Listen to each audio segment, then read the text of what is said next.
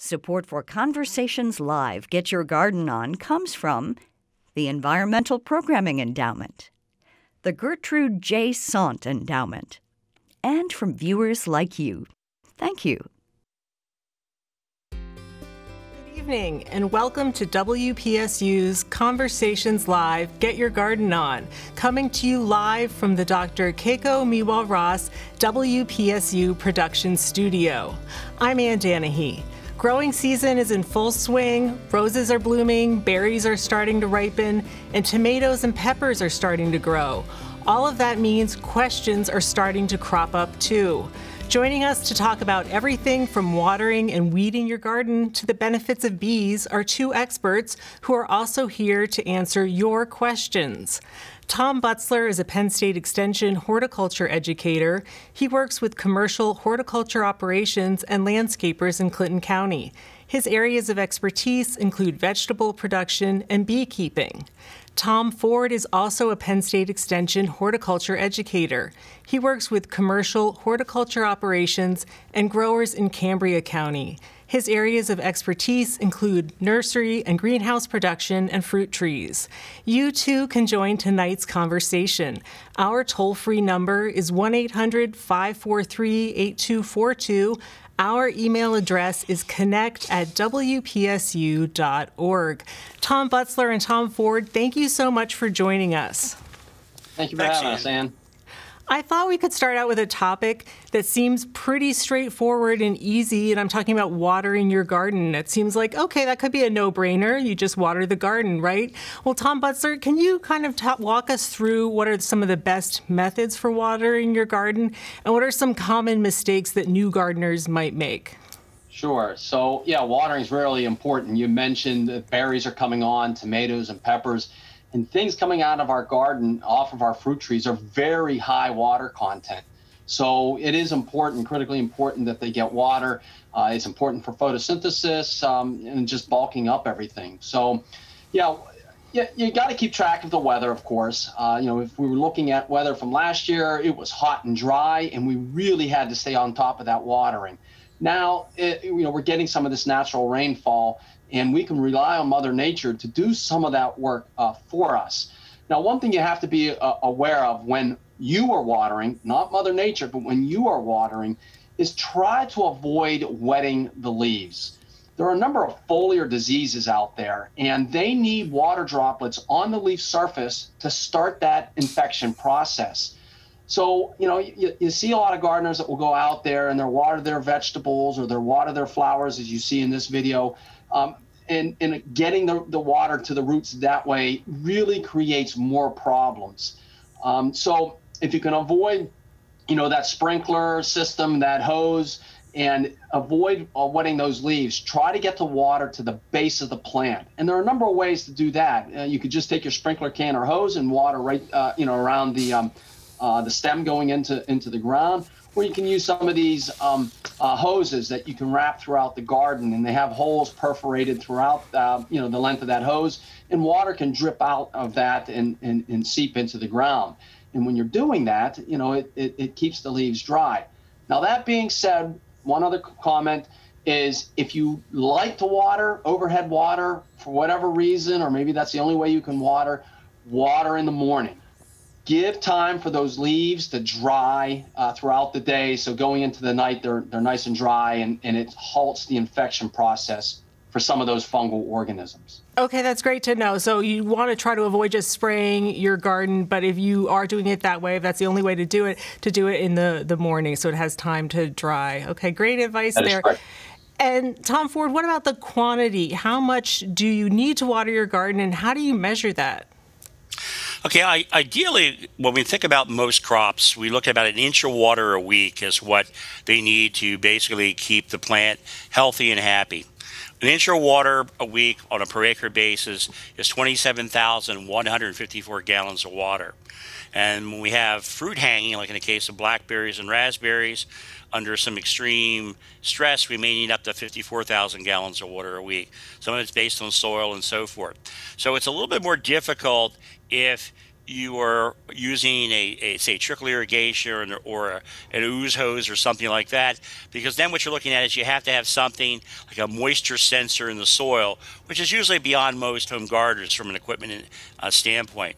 It's easier with lawn care because a lot of times for lawn care we're using oscillating sprinklers and when you use an oscillating sprinkler you can just take something simple like a coffee can or a plastic container and set that out in the path of the sprinkler and then let the sprinkler run, measure the water that's collected in that can or that plastic uh, container, and when you hit an inch of water in that container, you can shut your hose off. You provided that inch of water for that week. So that's typically what we like to see is try to measure the water, try to more precisely manage that irrigation system. So, and how much you need to water probably varies on where it is too. You're talking about measuring out in the out in the yard, but if you have a, a potted plant, say, or a hanging plant, do you have to check it more frequently? What are, what are the best tips for that? When you're dealing with something containerized, we always say water when it's dry to the touch. So there's nothing better than sticking your finger in the media, feeling it. If it feels dry to the touch, water. Water to the point where you see water start to run out the bottom of the container.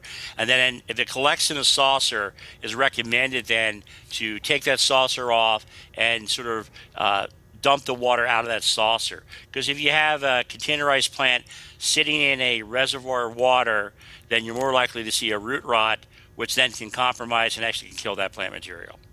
And, and and the other thing for your viewers to remember is that when you're growing in the garden, that is soil, and it has different properties, and you manage it a little differently. When you're dealing with a container, those are typically most often soilless mixes. It's a combination of peat, uh, vermiculite, uh, ground up bark, mulch, uh, uh composted bark, whatever.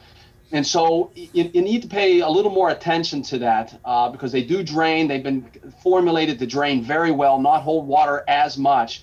So, um, you know, just keep in mind that you're dealing with two different medias there, soil and soilless mixes. Well, if you're just joining us, I'm Ann Danahy, and this is WPSU's Conversations Live Get Your Garden On. Joining us tonight are Penn State Extension horticulture educators Tom Butzler and Tom Ford, and our toll free number is 1 800 543 8242, and we're ready to take your calls. You can also send us questions by email at connect at WPSU.org. And it looks like we have a question. This one came in through email. And Chris has a question, and he writes I recently moved into a new house that would have a wonderful view from the back deck, if not for a line of wonderful hemlock trees. I'm reluctant to cut them down because I like the trees. However, they all appear to have woolly adelgids on them. How long will it be until the bugs claim the trees? And should I just cut them down and enjoy the view? Or there are treatment options, right, for woolly adelgids? So, Tom Butzler, what would you recommend? Well, I, you know, I would probably get someone to come out, a, a professional arborist to come out and look at it to ascertain how bad first is this infestation. Um, you know, if it's just relatively minor or just getting started, uh, you know, these trees you know, might have a, a, long life ahead of them. If it's heavily infested, yeah, you know, it, that lifespan may be shortened. And of course, there are ways to manage it, uh, this. There are some products you can apply with a foliar spray or there's some products that uh, can be injected into the trunk of the tree. Uh, they become systemic, so as the woolly adelgid is feeding, um, it's taking the plant nutrients and also the systemic insecticide that is being distributed throughout the tree. Um, and that's a nice way to try to target this pest without, you know, targeting any or without interfering uh, with any of the beneficials out there or j- just other insects but it really depends on how bad that infestation is. It, it's not an it's not an overnight type death sentence. It's kind of a long slog, and then that uh, the health of that hemlock uh, declines over time. Okay, that's good to know. So great advice. You have some other options too if you uh, want to keep those trees. So one of the other questions that's coming up this time of year, and we talked about it a little bit, is watering. And we've been getting a fair amount of rain though in central and north central Pennsylvania. Is it getting to the point where actually all the rain that we're getting is starting to cause problems? And what should you be looking for, Tom Ford? Are there things that you need to keep an eye out when we have been getting this much rain? Really all we have to worry about is if we've had the real flooding rains because um, one of the concerns you have is if you actually have stream flooding and the water comes up over a vegetable crop, it's considered adulterated. So therefore, you can't eat that vegetable, you can't harvest that vegetable, you can't sell the vegetable. So we have floods, that's more problematic. We have had some floods in some areas, but overall, the rainfall in most cases has been relatively manageable. Um, we have not seen a wealth of diseases yet as far as um, on plant material. We do have some stuff that's emerging. Uh, we have uh, cucurbit uh, downy mildew that's in New Jersey right now and in Maryland. That's a problem. Uh, this is powdery mildew here on, on a rose bush. Powdery mildew is more humidity driven. So as we get into uh, June, late June, early July, humidity is building. Powdery mildew thrives on high humidity. But as far as rainfall goes, it's more problematic when we actually have some of the early April and early May rains, because then we see foliar diseases and needle cast on conifers. Mm-hmm. And we have not seen as much anthracnose this year on our shade trees. And we also have not seen the level of needle cast on conifers. Uh, no not as much Rhizoctonia, not Rhizoctonia, rhabdocline needlecast on Doug fir. So needle needlecasts have been a little bit lighter this year because the rains have been, you know, a little bit more intermittent um, than we've had in some past springs. And when you're talking about needle needlecast, you're talking about the trees just losing their needles, kind of shedding their needles on the ground? Right. On spruce trees, we have Rhizosphaera needlecast. We have another needlecast called Stigmina, both those diseases can knock off the need off knock the needles off the tree. The trees can go into decline. Uh, they become aesthetically unpleasing. Douglas fir is more frustrating because it seems we have rhabdocline, needlecast, and Swiss needlecast, and they seem to do the double whammy on Douglas fir. I've had more calls from people wanting to call down, call, uh, cut Douglas fir this past year than any time in I think in my career because of two needle cast diseases. Wow. So can they manage though if you if you uh, keep them for another year or two? Are they going to be able to make through that? The, the problem is the size of the tree. a lot of these trees are 60, 75 feet tall, and we're talking 150 to 200 dollars per application. Most cases, we're talking three to four applications, and then if it rains, it washes it off and you just lost the effectiveness of that fungicide. And then what happens again next year? We have to do the same thing. The following year, the same thing. So we have to spray prophylactically before we see the onset of symptoms, which is very problematic for most home gardeners. So rather than commit themselves to a life of spraying, they get rid of the tree. Understandable. Well, we do have a call, and this one is from Anne in Hollidaysburg. Hi, Anne. Thank you for calling. Anne, do you have a question? Yes, I have a, a six year old river birch that's just beautiful. This year I've noticed that it has something that a horticulture guy told me was scale insect and I want to know if there is a way to treat it that's a natural way other than the insecticide he told me about. Okay, thanks for that question. And I see Tom uh-huh. Butzler nodding his head. So, any advice for her? You know, I'm not real familiar with scale issues on birch. Is, is this a river birch or a European birch? Do you know what, what color is the bark? I'm not sure. Anne, are you still there? She might have hung up to listen.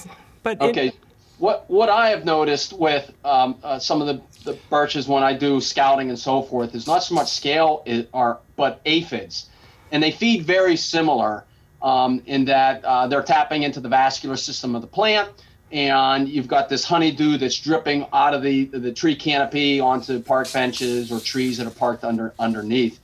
And so, um, you know, either you want you, you live with it or you're going going to have to treat it. Um, and there, you know, there are products um, that are out there that can treat uh, aphids. Tom, I'm not sure about scales on birch trees. Well, the fir- first thing is I would like Anne to submit a specimen to the Blair County Extension Office so that we could take a look at it. First off, um, in my career, I have not seen scale on birch. So I'm worried about is it could it be a misdiagnosis from that yeah. standpoint? We see lots of leaf miners and yeah. a lot of nuisance pests on birch, but I don't recall ever seeing scale in my career. Um, but if you want to try to control it naturally, if first off we got to figure out which insect it really is, and depending on what it is, we may be able to use if it is really a scale insect, use something like a horticultural oil. There are some of the oils out there that are um, plant derived that actually have an, what we call an OMRI label that you know are, are organic uh, certified for use on vegetable crops. They would work what we call crawler sprays, typically on uh, scale insects. So there may be some alternatives there from a natural standpoint to take care of it, but we really need to make sure that um, we actually um, accurately diagnose and identify the pest because. That can be very problematic if it's if we're we're making making a recommendation for something that's something else. Right, and you know, and this goes back to the uh, the, uh, the conversation Tom had with the um, um, uh, the uh, needle cast diseases is that river birch, you know, you could apply those products on a small tree, but river birch can get, you know, what, maybe 40, 50 feet in height once they become mature. And so sometimes that becomes a little unmanageable. So it, it may be, I, I agree with Tom, really we need to diagnose what is the exact insect problem, but it may be also that it may be not the right tree for that situation.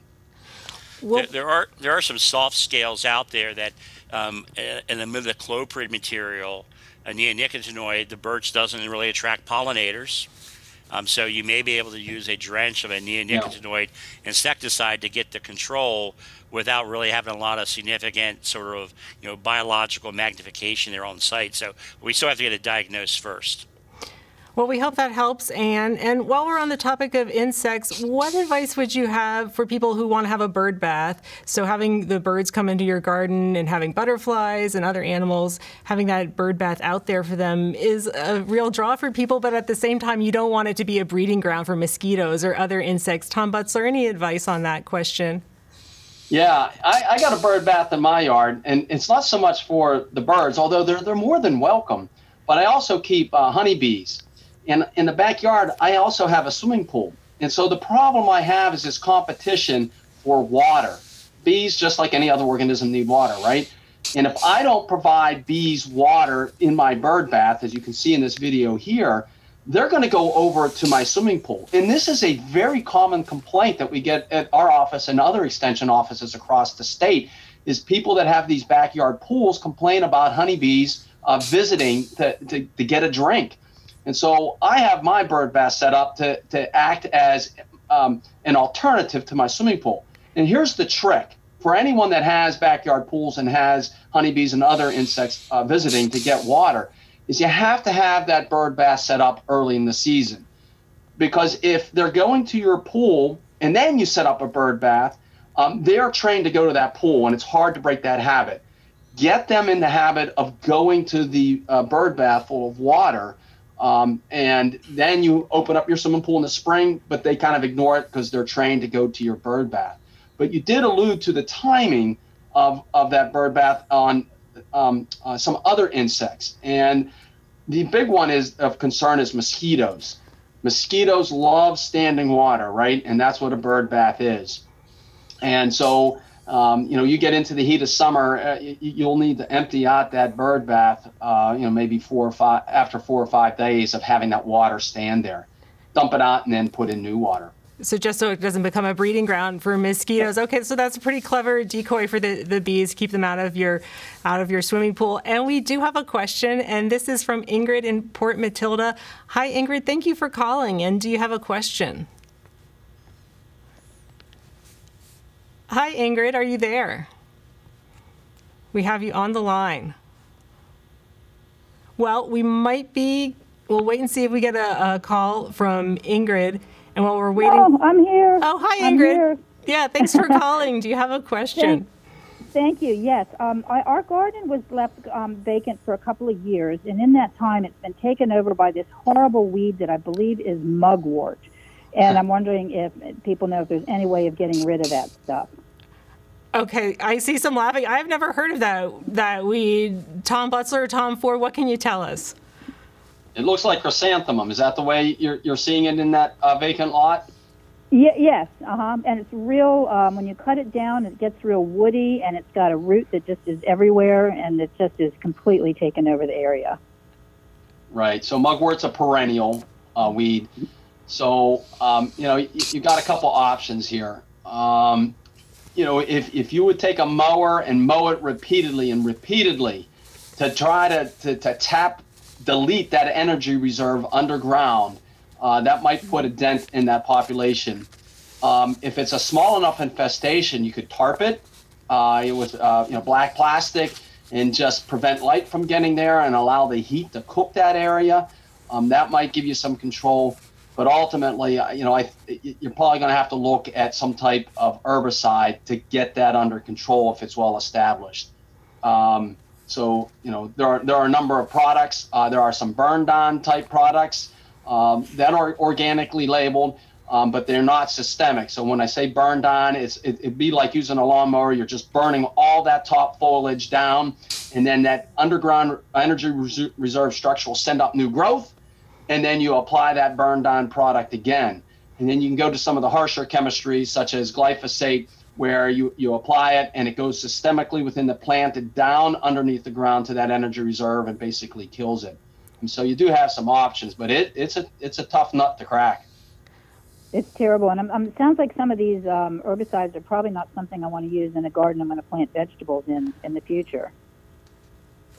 Well, some of the burn down materials actually there are some that actually have a, an OMRI label that are they're considered organic.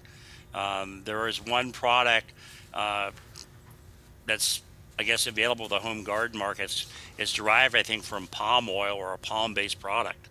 Um, on the farm side, it's called Home Plate. On one coast, it's called Suppressed on the other coast. And I believe it's called Burnout on the homeowner market. I believe it's a Bonide product um, in our area but it will burn the plant down in three hours and doesn't leave any soil residue or anything. Now, it's not systemic, but I actually like using it in my own property because it's a situation I know exactly if I'm going to spray something in the mulch, if I accidentally hit something that I shouldn't have hit, the worst thing I'm going to do is is spot the leaves. I'm not going to kill that um, uh, foxglove or that columbine or something desirable. And with low pressure, coarse droplet size, I can target very, very effectively. Um, but with mugwort, mugwort actually has got some tolerance to even some of the harsher chemicals. So I, I kind of lean towards what Tom was suggesting. I would rather see you try to use a burn down material, be aggressive with it, or if it's a vegetable garden situation, what I would probably do is just go to very aggressive tillage. Okay. All right. Well, we hope that helps, Ingrid, and good luck with that. And we do have another call. This one is from Tracy in Hollidaysburg. Hi, Tracy. Thank you for calling. And do you have a question? I do. I have a question about the gypsy moths. Um, I live in Hollidaysburg in the Sylvan Hills area. There's a lot of oak trees on our property, and um, they're just being destroyed by the gypsy moths. I have um, raised beds. I have one oak and I have to put um, garden cloths over the raised beds because of the dropping. Uh, is the state going to spray? Is there anything that can be or will be done about these? And how long do we have to put up with them? Yeah, that's a great question. And we were talking about that before the show that because it is a problem in parts of Pennsylvania this year. Tom Ford, what can you tell us about gypsy moths and the outlook? There's a lot of them this year, but there's a little bit of a silver lining, right? Right. There, there's a silver lining, and we've actually seen quite a bit of, uh, we'll say, uh, fluctuation up as far as the population in Blair County, specifically the Hollidaysburg area and some of the other areas as well. But when you're looking at gypsy moth, um, they should be just about finished. They are in the the home stretch as far as feeding goes. Uh, if you look at the caterpillars, they have the very pronounced dark blue dots and dark red dots on them, which tells you that they're in the, the last stage of the life cycle. They're actually harder to control now. So, in that respect, uh, I'm not going to typically recommend uh, usually doing too much from an insecticide standpoint right now. Now, for next year. Okay, the state typically will spray some of the ridges, some of the state game lands, but when it comes down to a lot of the private property owners, usually it's up to the private property owners to work together to try to coordinate a spray program for your area. Now, to know if you need to spray or not for next year, um, you want to look at egg mass counts per acre. That the one photograph showed the uh, the white moths, the females with the brown buff colored egg masses egg mass. Uh, usually, if you have 250 egg masses or more per acre, if you do not treat, then there's the potential to see defoliation next year. A healthy oak tree usually can take two years of defoliation. But beyond that, for the most part, then we can start to see some tree mortality. So the real critical thing is, is do that egg mass surveys in your area this fall, and then at that point in time, that's a, it gives you the opportunity to try to work with neighbors to see if the area could be sprayed privately. Uh, DCNR has a listing of aerial applicators that you can contract with for spraying. That's the most effective way to do it. But they have to be sprayed from about the second week of May to about the end of May. So you get about a, a two week, three week window to do aerial applications of insecticides. And they usually use two materials of choice. They use a BT, a dipel type product, natural, Bacillus uh, thuringiensis, or they'll use an insect growth regulator. I they use a product called Mimic. They're the two materials of choice, but the BT material is really only effective when you have the early instars of the caterpillar, first or second instar, first or second stage. But the good news, as far as that uh, was talking about, is that if you look at the, your bark of your oak trees and you notice the caterpillars in an upside down V that are dead, or you see the caterpillar hanging down with its head down and it looks like almost like a shoestring, that's natural biocontrols at work. The ones in the upside down V, it's an NPV virus. And the other case where they're hanging down like a little um, straw, like a leather string, that is a typically a natural fungal organism. I live in the Duncansville area. I've got gypsy moth, but I look at my white oaks, I look at my red oaks, and I have natural biocontrols at work curtailing that population. When the population gets stressed like it is, We've had relatively good wet conditions. That means both organisms are out there working on the caterpillars late season. So we may not have as many eggs laid uh, in the next three weeks or so. So our population may be much more reduced for next year. But the only way to know for sure, do the egg mass count this fall. If you're over 250 egg masses, work with your neighbors to try to look at if those properties can be sprayed. Okay, that's some some great advice, and we have our fingers crossed that the uh, natural course will take care of those gypsy moths. And if you're just joining us, I'm Ann Danahy, and this is WPSU's Conversations Live Get Your Garden On. Joining us are Penn State Extension horticulture educators Tom Butzler and Tom Ford. Our toll free number is 1 800 543 8242, and we're ready to take your calls. You can also send us questions by email at connect at WPSU.org. And we do have a call, and this one is from Phil in Johnstown. Hi, Phil. Thank you for calling. And do you have a, a question or comment? Uh, my question is this. Uh, my sister was visiting from Harrisburg, and she was telling us about a uh, new invasive species, plant species called poison hemlock. Do they have any information about that? Is it invasive? Has it always been around? Okay, thanks for the question. Do either of you uh, know about the invasive hemlocks? We, is that something that we need to worry about? It's it it's not widespread like some of these other invasives, but it, it, it is in the area. There are some hot spots, and I believe Tom, correct me if I'm wrong. I think Pennsylvania tries to target some of those hot spots. Yeah, they, I think they try to try to do that because the potential is is um, for uh, unfortunately uh, death. If we have kids sometimes, uh, kids play with the stems; they're hollow. Uh, we've had kids make whistles out of them, and unfortunately end up uh, some cases dying because of the toxin. We have adults misidentify, I think it's wild carrot, and try to cook it up and then die that way from ingestion. The sap is caustic and cause skin irritation, everything else. So it's not a new weed by any stretch of the imagination. And there's that old historical reference uh, we, we see in literature where Socrates died from ingesting hemlock. Well, the hemlock he ingested wasn't the Canadian hemlock, it was the juice from the water hemlock. So anytime you've got streams and uh, areas that are moist, you will see, unfortunately, water hemlock in those areas. So you can use herbicides, but in many cases, it may be advantageous to um, wear a respirator or wear a mask, eye protection, long sleeves, long pants, uh, gloves, hand pull it, and then get it off your property. Try to do so before it blooms. If you let it bloom, it produces copious amounts of seed, and you'll start the whole process all over next year. Um, but right now, um, there's been a lot of media attention. We have a colleague um, at Penn State, Dwight Lingenfelter, um, that's talked about it extensively. But in most cases, the best thing for a property owner to do is typically uh, removing it by hand, but take the precautions to protect yourself. Don't inhale the inhale the material if you cut it with a weed eater. Okay, because worried about the the sap sort of um, getting into the air and you breathing that material in. So protect your mouth, protect your eyes. Gloves, long sleeves, long pants, and then you can use herbicides as well. Okay, great advice. Well, we hope that helps answer your question. And while we're on the topic of invasive species and insects, Tom Butzler, can you give us an update on the lanternfly, the spotted lanternfly? That was very prevalent in lots of Pennsylvania and has been moving and expanding, and it's something that can do a lot of damage. Where is it now? How much do we still need to worry about it?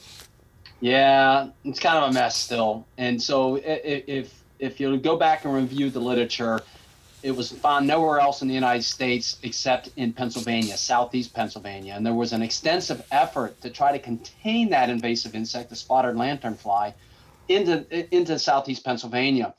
And it was somewhat successful for a while, but it has expanded well beyond uh, that region. So you can see in this map here of Pennsylvania, those um, air, those counties that are colored in purple are, are where you know it's been established for a couple years, and then those counties that are in the kind of the light blue and the townships in darker blue are these newer finds with established populations.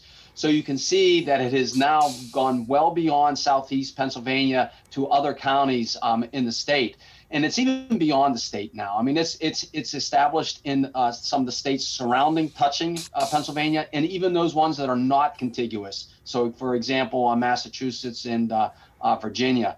So um, it, it's not a great flyer, but it is a great hitchhiker, and it has found a great relationship uh, between itself and and humans.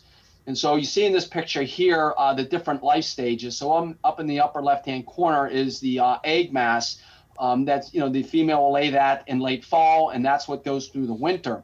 And then we get into mid to late spring, and uh, that section there titled B um, is the nymphal stage. It's black with white dots on it, and it goes through a couple of these stages uh, before it becomes an adult. And right now, we're kind of at that transition between uh, the nymphal stages and the adult. And the adult is in those lower two panels there, and they look like almost like a moth or butterfly. Um, they're, they're not, they're considered plant hoppers or they're categorized as plant hoppers. But we're going to see this transition between uh, this instar there that is red with the uh, white dots and the adult. that will be occurring in the next couple weeks. Um, and so the problem with this insect is it's a sap feeder. It sticks its mouth parts into the plant like a giant straw, and it's sucking out uh, the, the, the, plant contents. Utilizes some of those minerals and some of the stuff in there, but the rest of it, it just just expels, excretes, and everything underneath it becomes sticky. Um, and uh, you know, aesthetically, that can be a problem.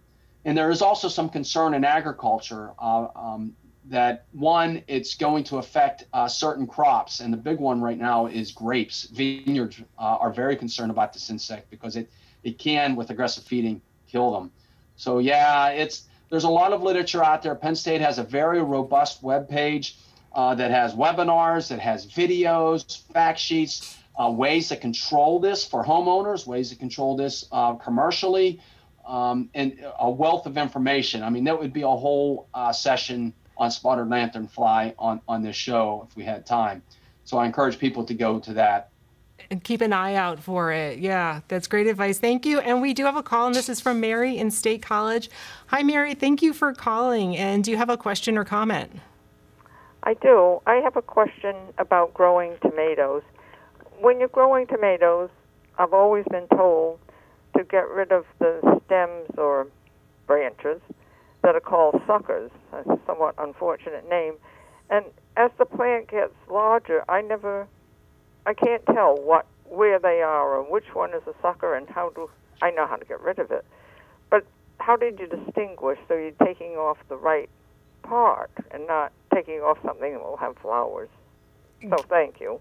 Thank you, Mary. That's a great question. So, when you're growing tomatoes and you want to channel its energy and you want to get the most bang for your buck out of your tomatoes, how do you know which parts to prune?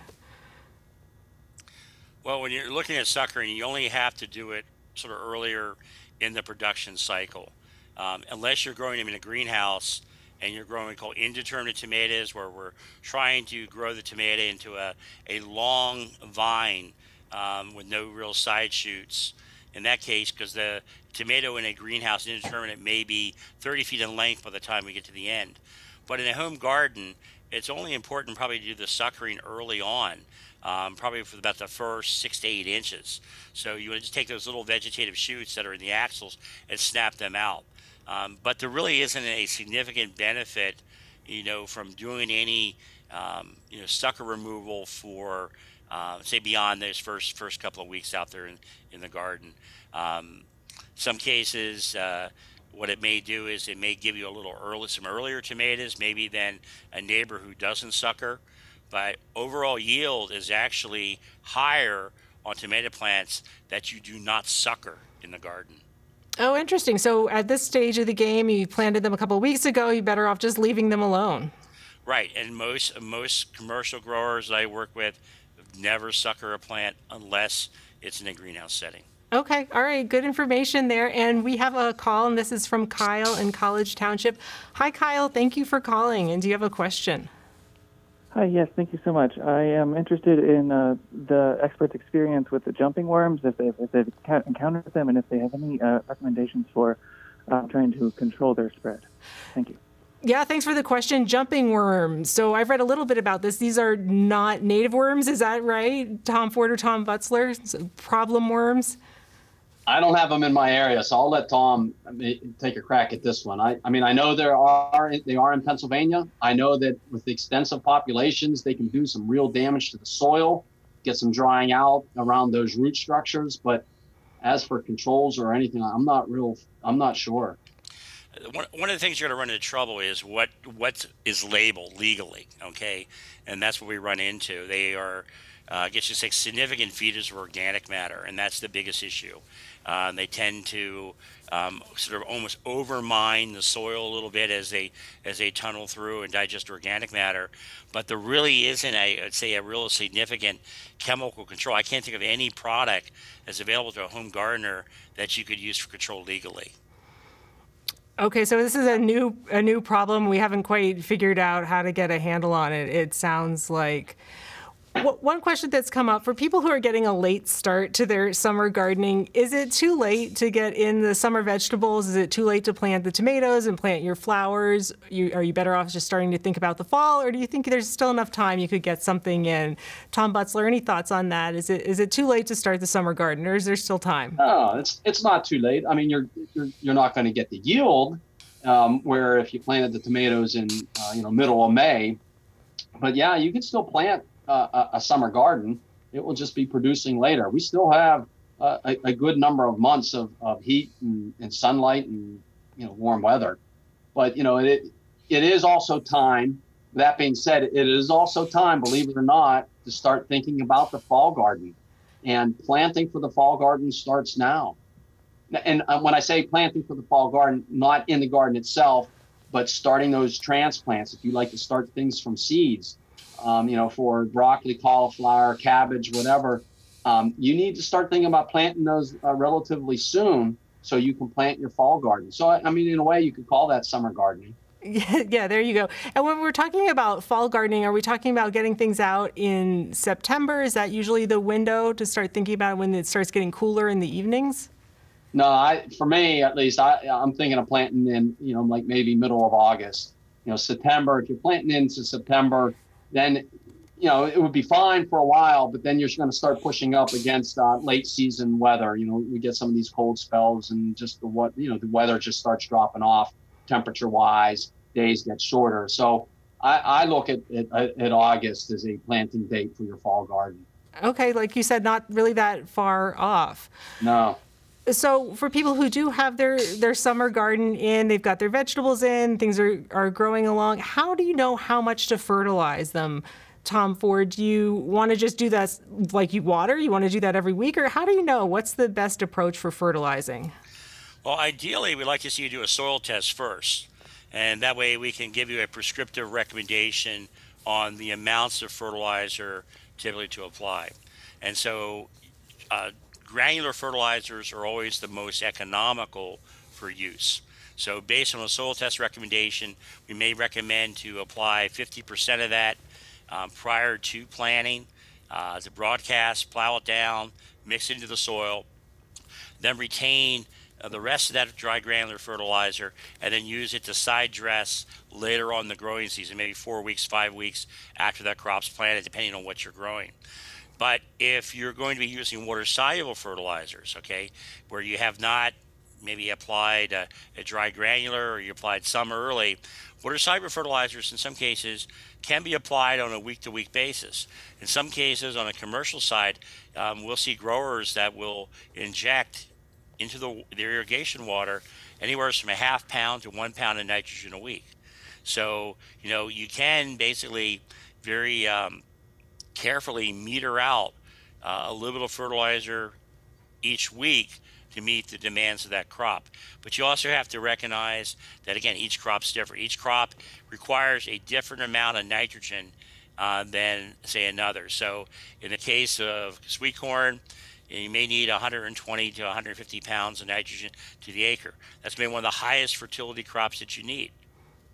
You go to something like a tomato, you may need 80 to 100 pounds of nitrogen. So, what we're typically looking at is prescriptive application. And the other thing you have to look at is an analysis.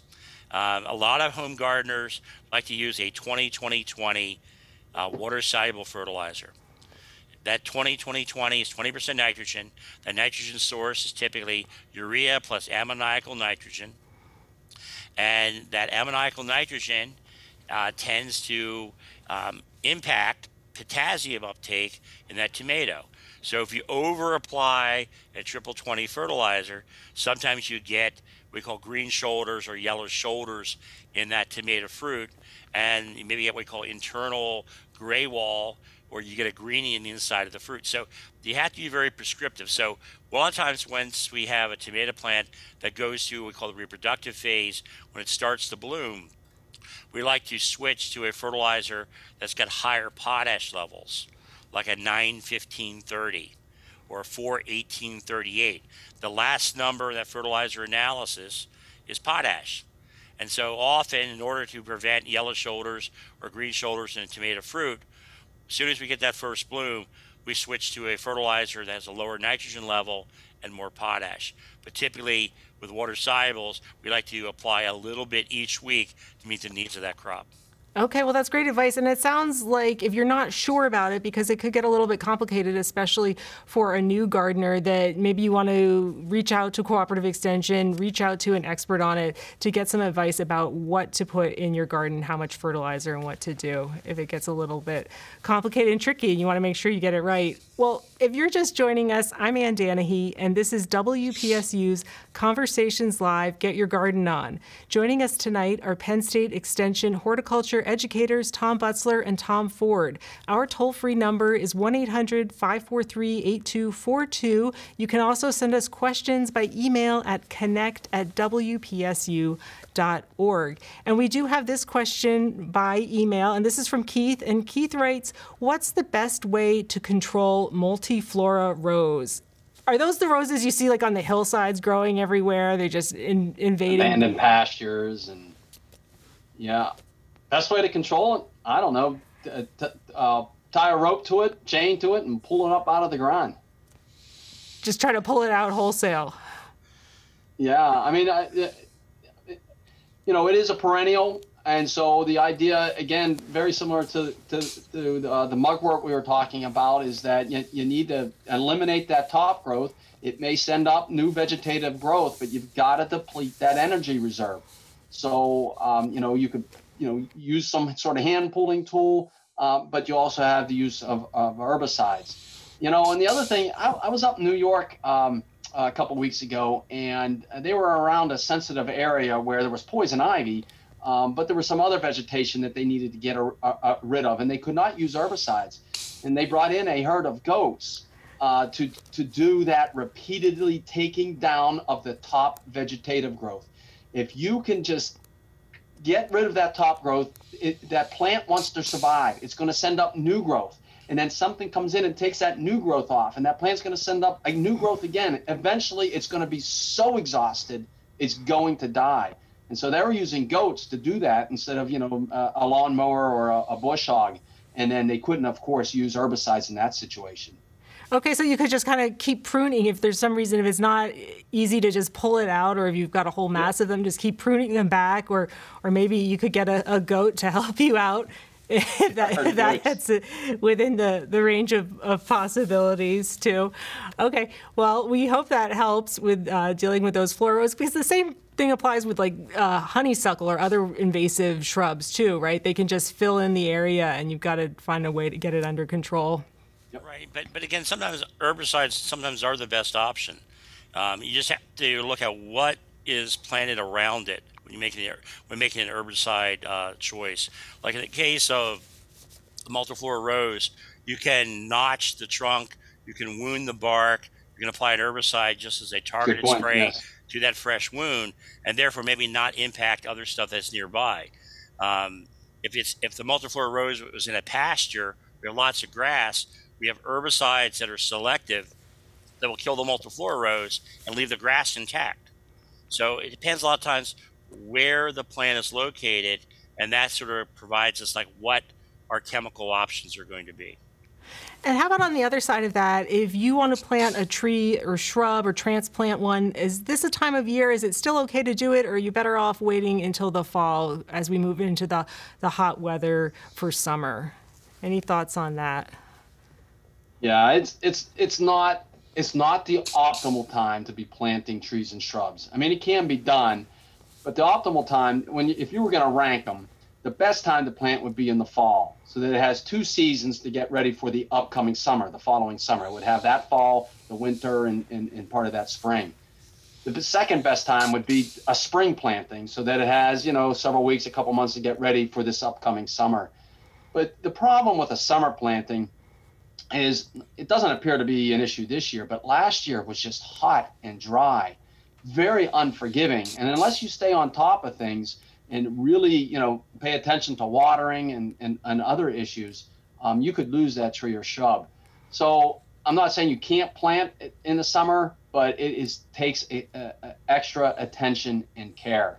And it, you know, it, you know, we talked about the start of this um, uh, uh, program, the issue of watering in the garden yeah, that would be very important, watering around these trees and shrubs. Well, one thing that's been getting a lot of news coverage lately is the giant Asian hornets or so called murder hornets. Is that something that we need to worry about in Pennsylvania, or is that something that we have not seen yet and is not likely to, to come anytime soon? Yeah, that's so. Uh, what was it? About a year ago, I think there was an article in the New York Times that did a, a big splashy story on this giant Asian hornet, and people kind of went went nuts. And so one of the reasons they went nuts, as you can see in this this graphic here, is this giant Asian hornet up in the upper left-hand corner looks very similar to some other insects that we have flying around in the Mid-Atlantic region. And so people were claiming that they had the, this this giant Asian hornet. This hornet is only found in the Pacific Northwest, uh, Washington State, and uh, a, a little area of Canada. And it really hasn't been found outside that area. And they are monitoring this closely because this is, you know, kind of the same thing as a spotted lanternfly. It's an invasive pest, and it's bringing a whole slew of problems uh, with it. And one of them is is it's it's a very a big concern for beekeepers because these this hornet will go into a hive whether it's a wild bee, honeybee hive or a managed honeybee hive, and they decimate the hive. They basically tear the heads off of, of the honeybees as they just destroy the hive and then go for the babies, the immature, the larva. And so, you know, that's kind of a detriment to having this, this invasive pest around. But it is not around here. We do have a lot of folks looking for it. There are traps set up in the Pacific Northwest uh, to monitor these. And these insects are big enough that they can put tracking devices on it um, and follow it back to its nest so they can exterminate that nest. Wow. Okay, so we'll know when they get here, and hopefully that won't happen. And, and, we do have a call. This is from Simon in Centre County. Hi, Simon. Thank you for calling. And do you have a question? Yes, I was. I was calling. I know that it's not the ideal time to transplant uh, ferns, but is it too late, or should I wait until fall? Okay, great question. Any thoughts on that? So it's not ideal, but if he wants to maybe baby the ferns a little bit, could he still transplant them now? And, and I'll hang up and listen to the answer. Thank you. Thank you. In, in my opinion, I, I, I would transplant if, if you if you want to transplant as long as you can provide the care and culture. And there's some ways to get around it. We talked about watering, but sometimes reducing uh, the sunlight a little bit, you know, shading them a little bit more if they're in a brighter location. Um, as long as the roots are moist uh, and the crown is, is firm, usually you'll get good regeneration. Some cases you may need to, if you had five fronds, okay, remove three of them, leave two fronds left. Let them photosynthesize, let them feed the plant, let them cut down. Uh, by cutting them out, you'll reduce some of that moisture loss to the foliage. Um, even when we do some containerized materials, some cases you can reduce water loss by cutting the leaves in half. So you have less photosynthetic area, but you're also losing less water through the leaf as well. So if you need to transplant them, go ahead and do it. Just baby them. All right, great advice. And we have a few minutes left. And what we wanted to do to end the show this time is just to give people a look at the to do list. What are both of you looking at doing, trying to make sure that you get done this summer? What's on your gardening agenda? So, Tom Butzler, we'll start with you. What's on sure. the to do list? Yeah, so uh, there's a couple things that you can do. I've already mentioned the first one there is uh, the, the cool season crops. Good time to, if you're starting things from seed, to do that shortly. Uh, for those folks that have asparagus in the garden, um, you know, if it's a well-established patch, you can pick about, you know, four to six, four to seven, eight weeks. But we're kind of ending that time period where we can harvest this asparagus. It's start to think about letting it go to fern so they can photosynthesize, get energy reserves down into that system uh, for next growing season. Um, Tom and I both mentioned some of these garden diseases, and there are some very good websites to track uh, this uh, uh downy mildew that appears on cucumbers and other cucurbits. Uh, and you can see that on there. That's usablight.org. Uh, no, I'm sorry. Uh, the cdm.ipmpipe.org is for the downy mildew. The USA blight tracks uh, late blight on tomatoes. So those are very good to see if they're in the area. Uh, groundhogs love tomato plants. Love them. So for some of us, we may have to manage uh, groundhogs, and really the only way to do that is to maybe trap them, live trap them, or put up a fence. So something to think about. And then there we go. How timely is this last number five point here with a uh, caller we had um, earlier on this idea of trees and shrubs? If you're going to do it, you really need to pay attention to the water issue. Right now, we've had plenty of water, but if it was like last year where it, it's spigot, Mother Nature just shuts off, it's going to get hot and dry. Right. So that's some great advice. And Tom Ford, what about you? What's on your list? We have just a couple of minutes left. Well, one of the things that I really want to look at right now is uh, bagworms. Bagworms were a real problem for us this this past year. Uh, the populations out there are very significant again this year. If you're going to treat for bagworms, you got to do it now. The later we go, the more problems we'll have. And the other thing is, Japanese beetles will be emerging soon. So, uh, in order to minimize uh, white grub problems and turf destruction, what you may want to consider is is doing your white grub treatments very shortly. Take advantage of the moisture that we have. That'll help make those uh, grub products work a lot a lot better. Um, with cicadas, prune out the damaged tissues. Try to think about doing soil testing late summer. And then the other thing is, is that if you have powdery mildew or seeing diseases out there, try to think prophylactically and apply those fungicides before you start to see any type of uh, infection. And if people do have questions and they come up with questions that they didn't get answered tonight, are you available? Can people reach out to you to get their questions answered or go onto the extension website? What's the best place to get other information? Yeah, Tom and I are more than happy to answer questions. But within the state, uh, within Pennsylvania, we have a very robust program, a Master Gardener program that, mains, that, that uh, maintains a garden hotline, garden hotlines throughout uh, um, uh, the state. And so I encourage people to take advantage of that. Um, they they, they um, do a lot of diagnosing for us. You can send in pictures. I don't know if they're still if they're yet handling face to face office visits, uh, but uh, either the master gardeners or Tom and I be more than happy to, to help folks out and diagnose their uh, plant problems.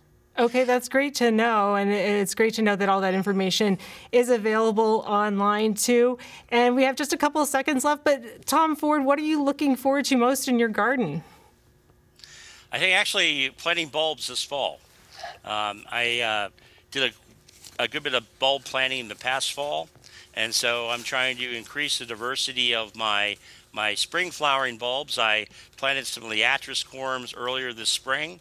I'm waiting patiently for my Liatris to bloom. There, the spikes are starting to emerge a little bit. So um, I guess you could say I'm really waiting to plant bulbs this fall when it cools down a bit. So starting to plan ahead already. Well, I just want to say thank you both, Tom Butzler and Tom Ford. Thank you so much for joining us and for answering all of our questions. Our guests tonight have been Extension educators Tom Butzler and Tom Ford. I'm Ann Danahy. Thank you for watching and listening to WPSU's Conversations Live Get Your Garden On.